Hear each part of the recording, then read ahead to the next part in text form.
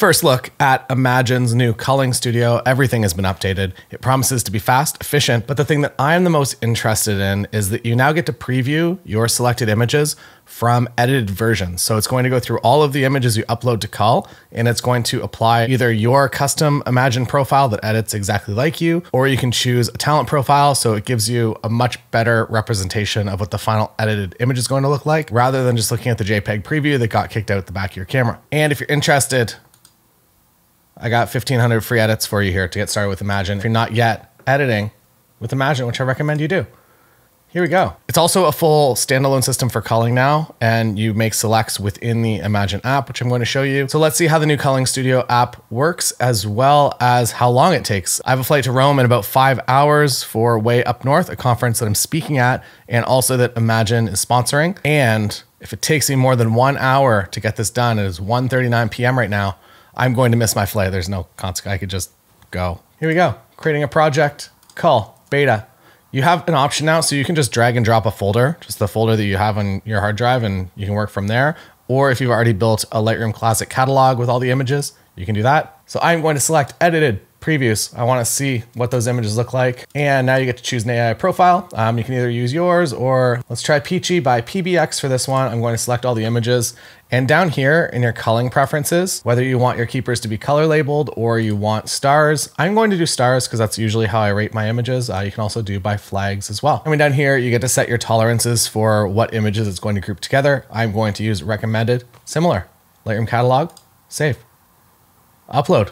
Currently 142, uploading 1,512 images that are taken from a wedding this year in California. Right, the upload is finishing up, and you might be like, ah, I don't want to upload things to the cloud. One great thing is that the speed of culling is not going to be based on your specific computer. So if you're running an older computer, it would be a lot slower to process this on your actual computer itself whereas it's processing everything on their servers. So it's going to be a lot faster. Plus, you can also use Imagen for offsite cloud backup storage as well. All right.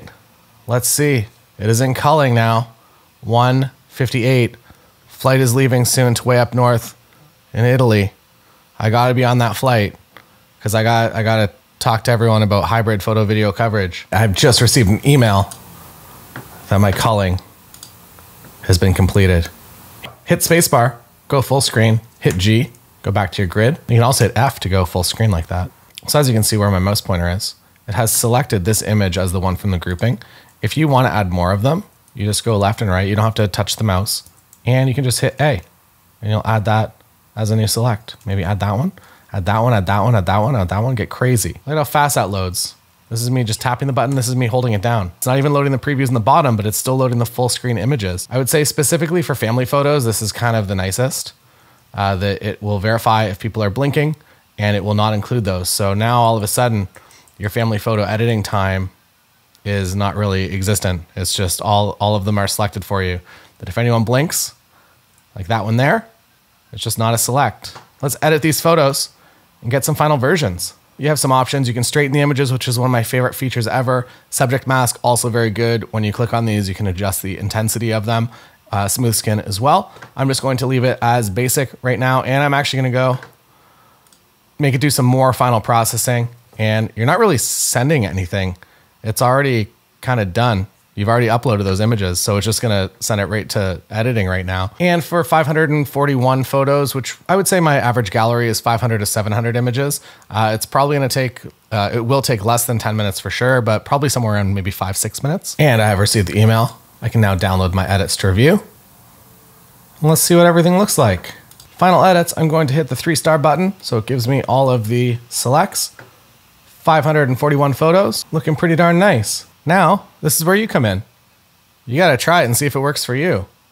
I would say the selects that it has automatically done for me without any refining. Overall, I'm very happy with the selections it's made. It definitely speeds up the family photography time where if somebody's blinking, somebody's eyes are closed, it's just not going to show you that image. So you're only selecting from the top images that you should be delivering. And that's all for the first look. It is now 2:16, 2:17 p.m. And I went from a Lightroom catalog all the way to final edited images selected and also edited by Imagen. If you're interested in trying this out, get in on those 1500 free edits by using the link in the description. And I will see you again next time, probably from Italy, where I'm headed right now.